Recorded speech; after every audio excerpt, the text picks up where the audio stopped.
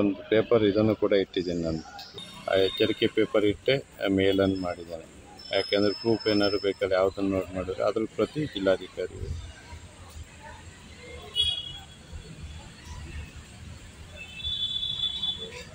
ಇದು ಇವರು K A R place ಬಂತು ಸರ್ ಇದು. ಇದು ಬಂದಿದೆ. ಎಲೆಕ್ಷನ್ ಕಮಿಷನಿಂದ ರಿಪ್ಲೈ ಬಂದಿದೆ. ಇದನ್ನು ಇದು ಮಾಡಿದೆ. ಕಾರ್ಯವ್ಯಾಪ್ತಿಗಳು ಪಡೆದು ತಾವು ಆ ಕಚೇರಿಗೆ ಸಲ್ಲಿಸಿರುವ ಮನವಿಯನ್ನು ಮುಂದಿನ ಸೂಕ್ತ ಕ್ರಮಕ್ಕಾಗಿ ಮುಖ್ಯ ಚುನಾವಣಾ ಕಚೇರಿ ನಿರ್ವಹಣೆ ನಿರ್ವಹ- ನಮಗೆ ತಿಳಿಸಿ ನಾನು ನಿರ್ದೇಶ ಅಲ್ಲಿಗೆ ಸಲ್ಲಿಸಕ್ಕೆ ಹೇಳಿದ್ದಾರೆ ಆ, ಮನವಿಯನ್ನು ಪರಿಶೀಲಿಸಲಾಗಿತ್ತು.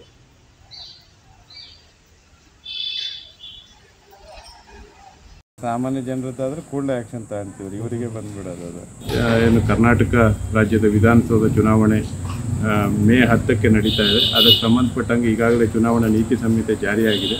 ಈ ಸಂದರ್ಭದಲ್ಲಿ ನಿನ್ನೆ ದಿನ ಕನ್ನಡದ ಖ್ಯಾತ ಚಲನಚಿತ್ರ ನಟರಾದಂತಹ ಸುದೀಪ್ ರವರು ಈ ರಾಜ್ಯದ ಮುಖ್ಯಮಂತ್ರಿ ಆದಂಥ ಬಸವರಾಜ ಬೊಮ್ಮಾಯಿಯವರು ಮತ್ತು ಜೊತೆಗೆ ಬಿ ಜೆ ಪಿಯ ಪ್ರಭಾವಿ ಮಂತ್ರಿಗಳ ಜೊತೆಯಲ್ಲಿ ಪತ್ರಿಕೆಗಳ ಮುಂದೆ ನಿಂತು ನಾನು ಬಿ ಜೆ ಪಿಯ ಪರವಾಗಿ ಚುನಾವಣಾ ಪ್ರಚಾರವನ್ನು ಮಾಡ್ತೇನೆ ಅಂತೇಳಿ ಘೋಷಣೆಯನ್ನು ಮಾಡಿದ್ದಾರೆ.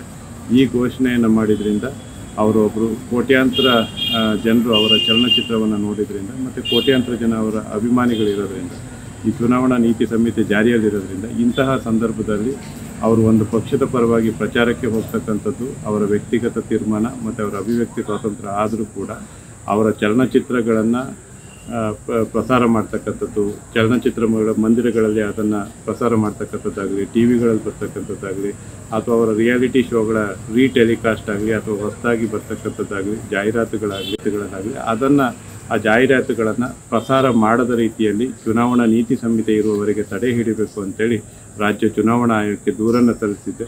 ಆ ದೂರು, ಆ ದೂರನ್ನು ಅಕ್ಸೆಪ್ಟ್ ಮಾಡಿ ಅವರು ಅದನ್ನು ಮುಖ್ಯ ಚುನಾವಣಾ ಅಧಿಕಾರಿಗಳಿಗೂ ಕೂಡ ಕಳಿಸ್ಲಿಕ್ಕೆ ಮಾಹಿತಿಯನ್ನು ಹಾಕಿದ್ದಾರೆ. ಅಲ್ಲಿಗೂ ಕೂಡ ಈಗ ಕಳಿಸ್ಕೊಡ್ತಾ ಇದ್ದೇನೆ.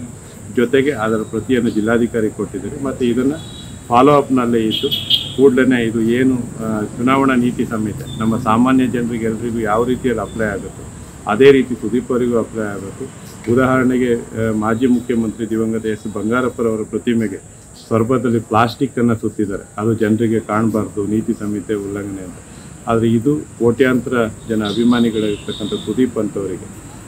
ಈ ರೀತಿಯ ಒಂದು ಪಕ್ಷದ ಪರವಾಗಿ ಪ್ರಚಾರ ಮಾಡ್ತಿರ್ಬೇಕಾದ್ರೆ ಅವರ ಚಲನಚಿತ್ರಗಳು ಜಾಹೀರಾತುಗಳು ಬಂದರೆ ಅದು ಜನರ ಮೇಲೆ ಬೇರೆ ರೀತಿ ಪ್ರಭಾವ ಬೀರೋದ್ರಿಂದ ಚುನಾವಣಾ ಆಯೋಗ ಇದನ್ನು ಗಂಭೀರವಾಗಿ ತಾಳ್ಬೇಕಂತ ಒತ್ತಾಯಿಸಿದ್ದಾರೆ ಸರ್ ಹೆಸರು?